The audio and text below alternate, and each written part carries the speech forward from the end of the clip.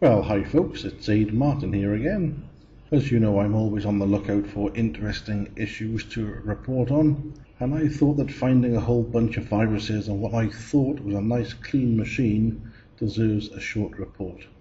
For this test, we're going to look at uh, Microsoft's very own Window Defender, Lavasoft Adaware, Spybot, Cyber Defender, and WebRoot's Spy Sweeper programs.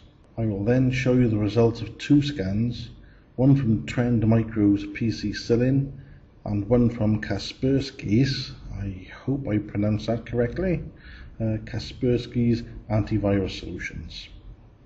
So here's the scan results for Windows Defender. Now notice it hasn't picked up a lot, but what it has found is quite important to the, the Trojan in particular. So well, let's just move on to uh, the free version of Adaware. Now notice, notice how it labels these innocuous cookies as a critical objects. Wow, that's frightening, spooky even.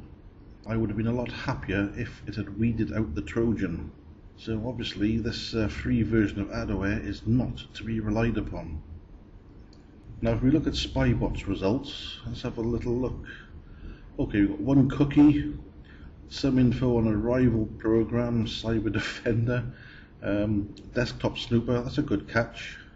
A couple more cookies on the Red Street, well that's a program I use. Uh, stat counters is no big deal, and Zedo is an advertising company. Now this is Cyber Defender. This has rave reviews from CNET and other very important people who know what I mean. So I better be a bit careful. yeah, right. At least it has found the desktop snooper. Let's see, a few unimportant cookies. Now I'm trying to see where the Trojan is. Mm, nope. Well, sorry Cyber Defender, you just missed that one.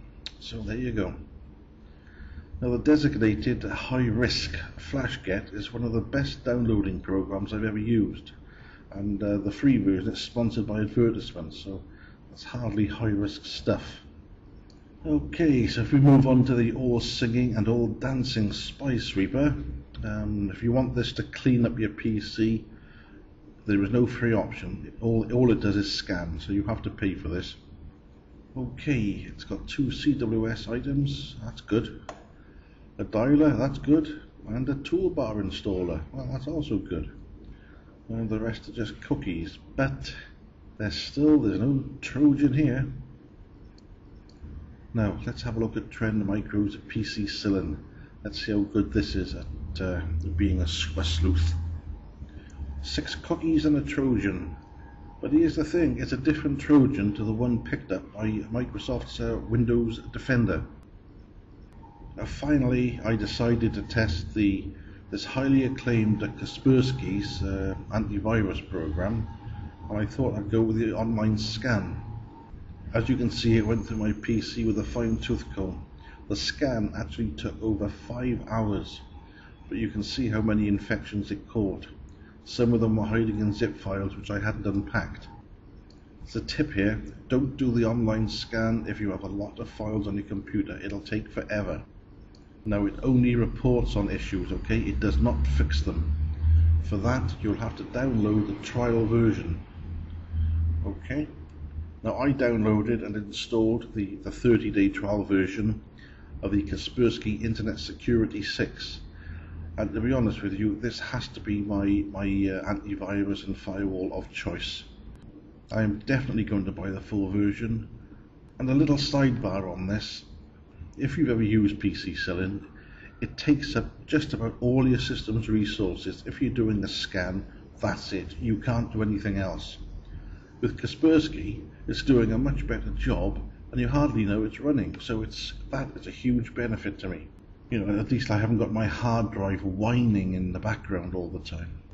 Okay, well this is the final total. Um, I know it shows only halfway through the scan just about, but I'm not going to let you sit through five hours of a, a full computer scan.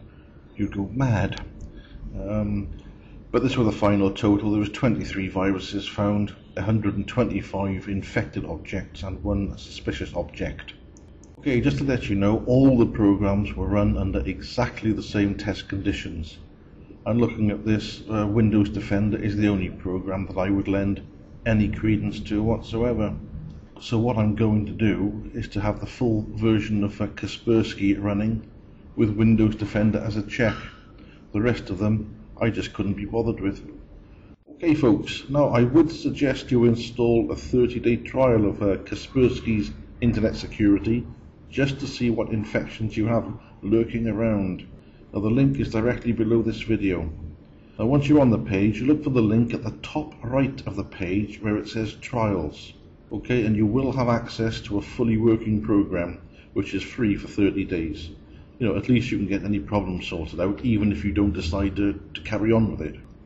Well, that's it for now, folks. Oh yeah, if you think, let me know what your scan results are and how you get on with uh, Kaspersky if you give it a try. This is Dave Martin saying bye for now. Bye bye.